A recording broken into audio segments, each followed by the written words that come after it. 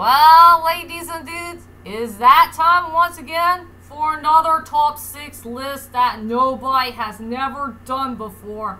And also, today is my 18th anniversary of the day when I graduated.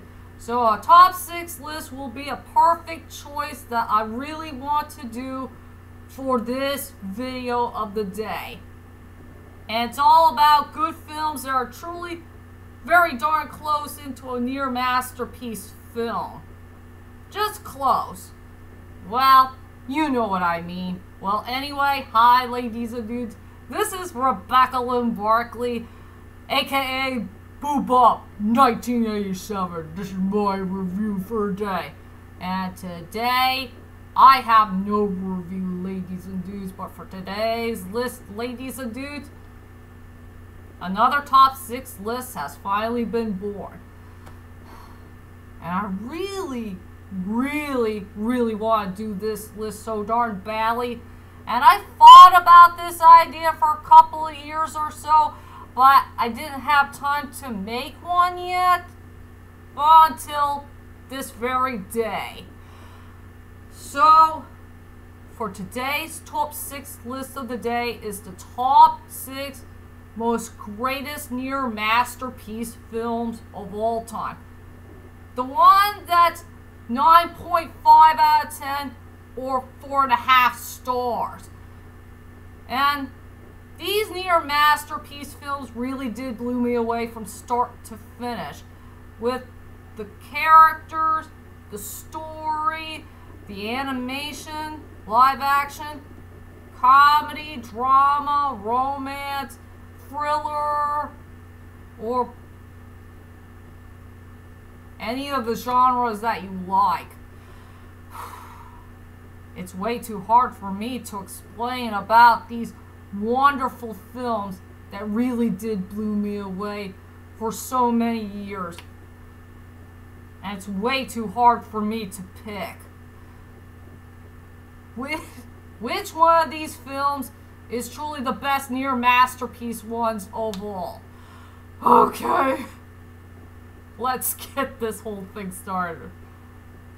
For right now. Okay, without further ado, ladies and dudes, let's head on to the top six best near masterpiece films that I enjoyed the best for so many years. And yes, ladies and dudes, I do have a couple of honorable mentions. Here's the ones that I got in my collection. The Chronicles of Narnia. The Lion, the Witch, and the Wardrobe. Taken to Harry Potter and the Deathly Hallows Part 2. And The Little Mermaid.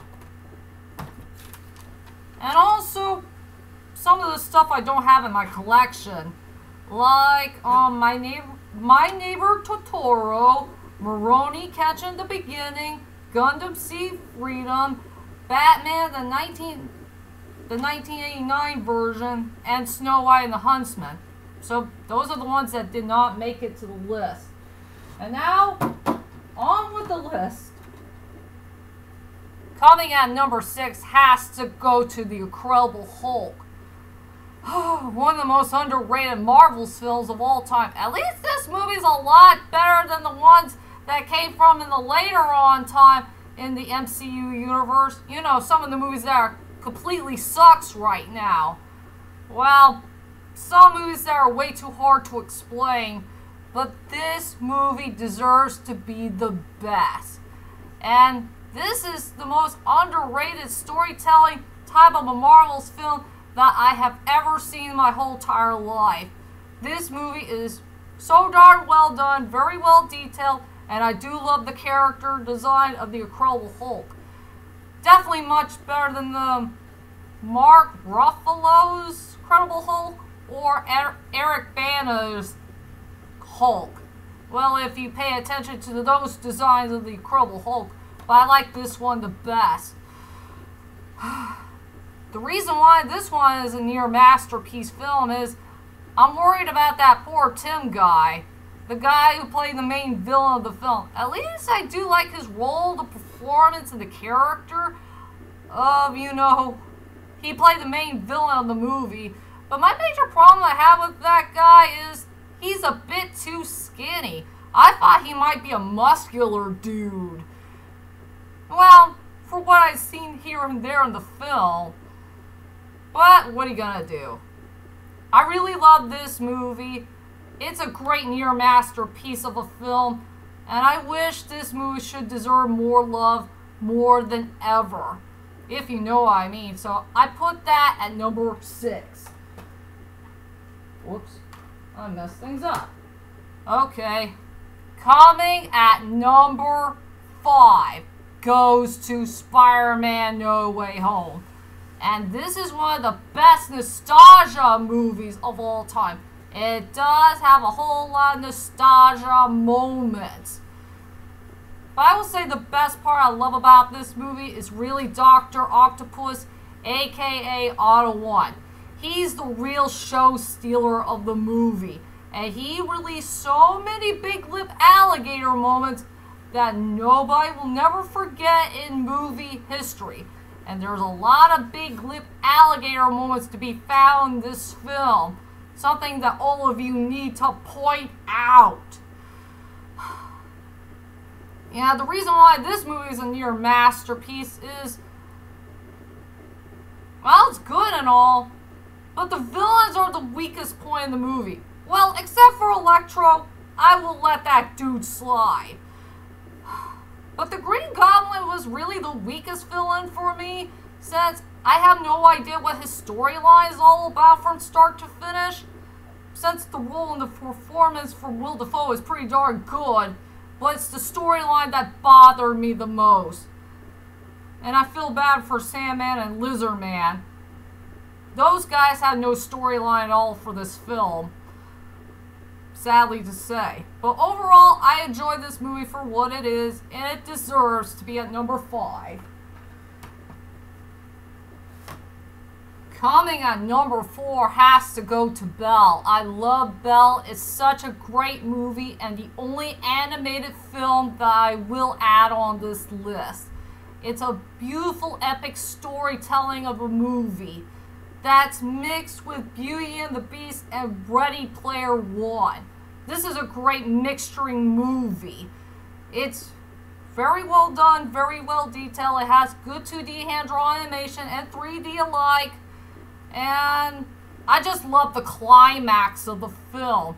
The climax really did blow me away the most. But the reason why it's a near masterpiece for me is I wish they should give more character development chemistry between Belle and the Beast. I want to see a little bit more of a Beauty and the Beast storyline to this film. If you know this movie too well, and it's also pretty underrated as well. I love this movie to death, and I put it at the number 4 spot. Coming at number 3 goes to John Wick Chapter 3 Pentavellum. This is a pure epic storytelling of a movie, and one of the best action thriller films I have ever watched in my whole entire life. It's a very fun and enjoyable movie to watch. Yeah, wild and crazy, and the best part I love about this movie is the underwater sequence. Yeah, John Wick has to go to underwater for just a couple of seconds to kill a bad guy in a swimming pool. It was just pure epicness. I love its epic storytelling. Yeah, I will say the reason why it has to be a near masterpiece film for me is what the hell happened to John Lake Leguizamo's character? They never fully mention him in this movie. Not one single bit of that dude. If I know him, he was too busy working on John Wick's car and trying to fix it all up. I wonder what the hell happened to that character. Why they never mention him in this movie? It does suck. Big time. And that's why John Wick Chapter 3 Pentavellum has to be a number 3. Darn it, I don't have this movie. But sadly, it's in the library, and one day I'll have to go back and get it again. So for number two goes to Angels and Demons. One of the best Tom Hanks movies of all time. And truly one of the best underrated films he ever, ever made in his whole entire career. And yes, out of all the Robert Langdon films, all three of them, I did see all three, I will do Da Vinci Code very, very soon whenever I can get there. Out of all the three, three films I did see about Robert Langdon, The Angels, uh, strike that, reverse it. The Angels and Demons is one of the best movies I have ever watched in my whole entire life.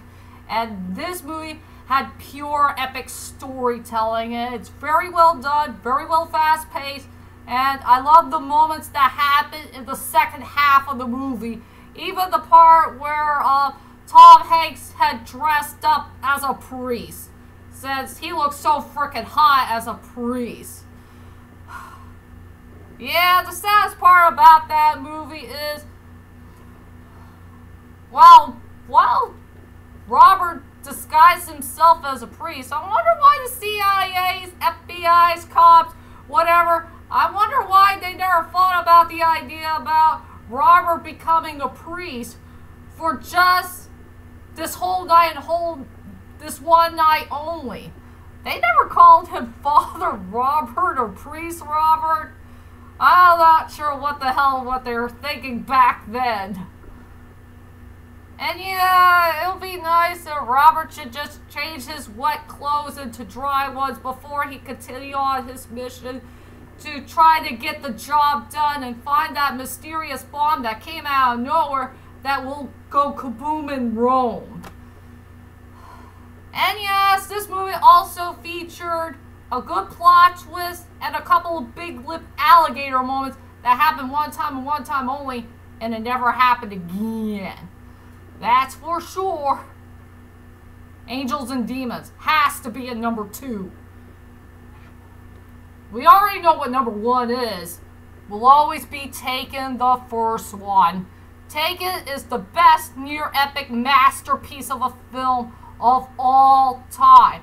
And yes, this movie has pure epic storytelling that featured our man Bryan Mills, who's going on a quest to find his beloved daughter in the dangerous world eh, in Paris, France. And yeah, Bryan Mills is the best show stealing character of all time in movie history. And one of and one of the best films that Liam Neeson have ever worked on for so many years. Well, if this movie will ever become a great masterpiece, and it deserves a 10 out of 10. One of the scenes I really want to see in this movie, I want to see a part where Lenore needs to apologize to Bryan Mills after everything that happened from a couple of days ago and also making a bad decision of letting Kim go to a place that's completely dangerous for her. And also it's really her fault that she betrayed both of those two characters, since it's her fault that she tore her family apart. And she doesn't want to do anything bad to them. Strike that, reverse it. She doesn't want to do anything bad to her loved ones ever again for the rest of her life. Yeah, I just wish the apology scene should be there in Taken 1, and maybe that way it deserves to have a masterpiece rating. That's for sure.